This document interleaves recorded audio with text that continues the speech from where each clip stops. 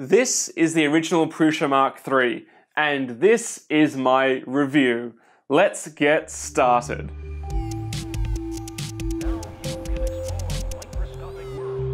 How's it going guys? Angus here from Makers Muse. Now, I know many of you have been waiting patiently for my review of this machine. But let's be honest, the launch of the Mark III wasn't exactly smooth. Announced in October last year, the original Prusa Mark III is the spiritual successor to the incredibly popular original Prusa Mark II, which I reviewed back in 2016. However, due to delays in the huge order volume and manufacturing issues, it meant that I wanted to take my sweet time in putting this video out. But now I think it's as good a time as any. The Mark III looks visually similar, but is actually quite different to its predecessor, so I thought it'd be fun to actually run them through a little comparison. So although sporting the same i3 style frame, the Mark III finally does away with the threaded rod assembly method and uses aluminium extrusions. The print volume has been expanded slightly to 250 by 210 by 210 in the Z-axis and it uses a dual wheel Bondtech extruder for high torque filament feeding. Like its predecessor, the Mark III sports a heated bed and automatic mesh bed leveling, which is amazing to have and hard to go back to once you start getting used to it. But some of you may remember this. Luckily, the PEI sheet does a great job sticking down parts, although for me at least, they did tend to stick down a bit too well and not self-release, so occasionally they do need a significant tap to pop free. My kingdom for a removable print surface. Well, it seems like the Prusa gods were listening, gifting us with this, the Mark 52 print surface with removable, flexible spring steel. Now, being able to flex prints off the bed between runs is awesome and has markedly improved my printing experience compared to hacking at prints with a spatula on other machines. This improvement alone has made me gravitate towards the Mark III over my other machines while printing my projects Yes, I know there was issues getting the, the powder-coated PEI surface out, but more on that later.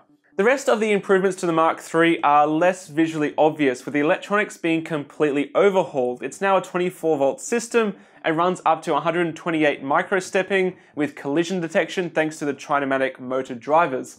And it has a new filament sensor which helps you warn you if there's a jam or a run out. The machine also has power panic, which is during a power outage, it will actually recover from where it left off, which did save me once during a blackout. It's one of those features that you don't know you need till you actually need it. And all of these electronic improvements have led to a significantly quieter 3D printer.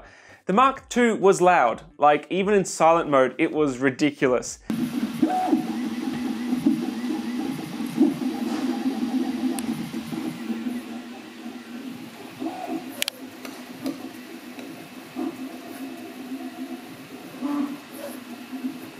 So I am very thankful for this. And they even put in a little uh, Noctua fan for the, the heat break cooling, which does that little extra bit of noise reduction. The Prusa team also finally did away with that horrible spool holder design with the two, two pieces, opting for a much, much uh, simpler, large one-piece design it's okay, it's not bad, but I'm going to go out on a limb here and say I actually don't like mounting spools to the top of i3 designs at all. I actually much prefer to print a separate holder and just mount it next to the machine or above it and have the filament feed in so there's no heavy mass on the frame.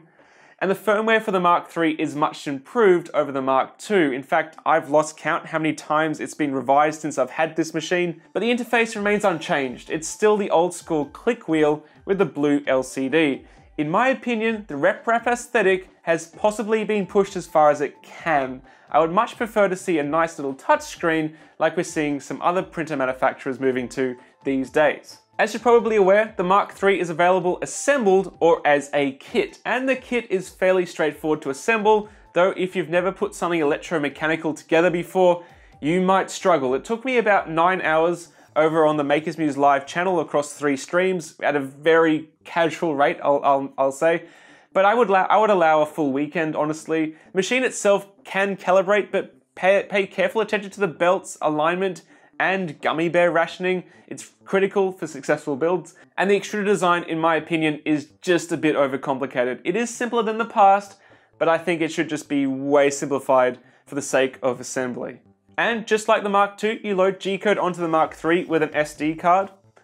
Just like that, put your G-code onto it, and it does allow for Wi-Fi using Octoprint plugging in a Raspberry Pi, but from the factory the Mark III does not come Wi-Fi capable, which is a bit of a shame. These days I do like to see Wi-Fi in printers from the factory, and I think it would actually have added a lot of usability to an already smart machine. And for my tests, I exclusively used the Prusa Slicer Edition, taking care to use the most recent version, so my prints were across various versions as I've had this machine, as were the firmware. I made sure I kept up to date because there was a lot of firmware and slicer revisions over the last few months. So what did I print on the Mark III? Well, I tested my new version tolerance gauge and I got down to the 0.15 clearances without too much difficulty, which was nice.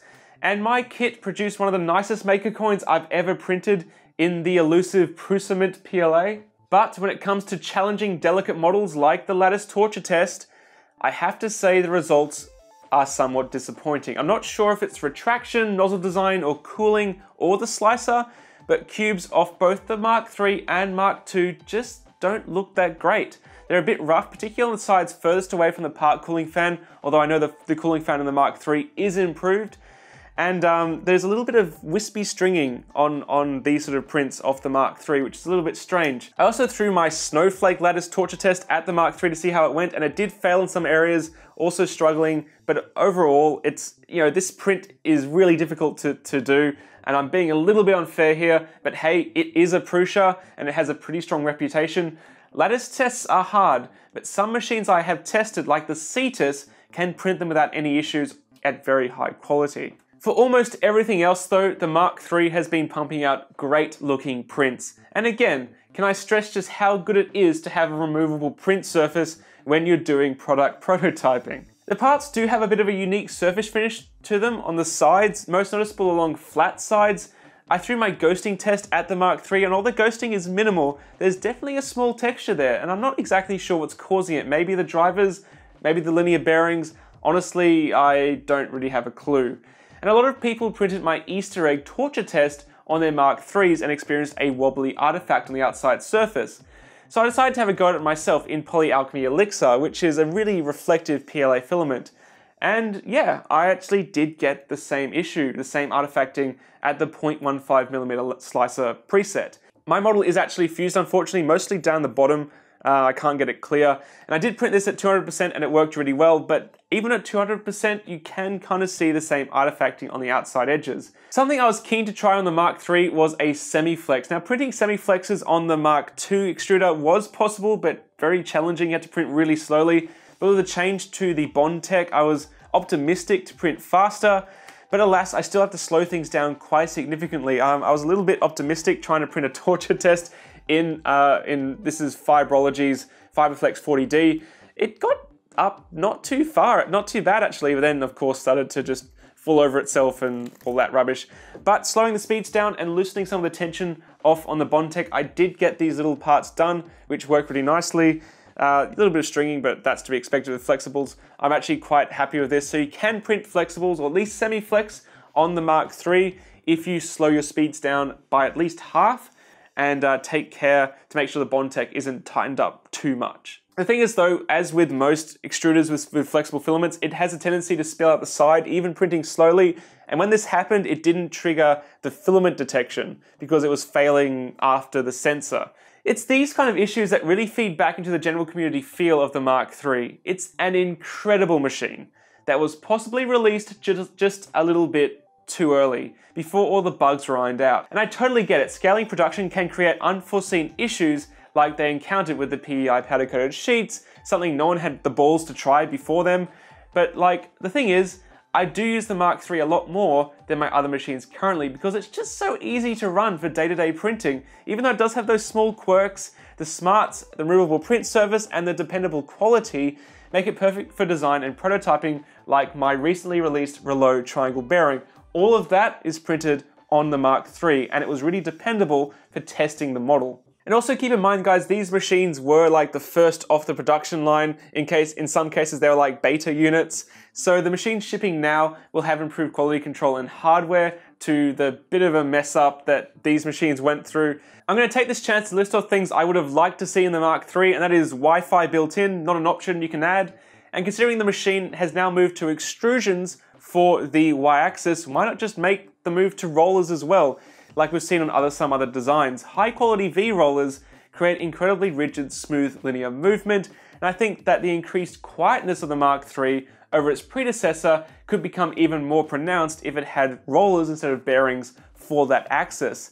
Similarly, a linear rail for the X would be really sexy, but I can definitely see that hiking the price a little, and I would love to see the interface replaced with a color touch screen. And although the Bondtech is a big step forward to extrusion reliability, it does still struggle, like I mentioned, with flexible filaments. So far in 2018, we're seeing a trend at one end for manufacturers to release more grandiose, expensive machines, and at the other, to race to the bottom for cost.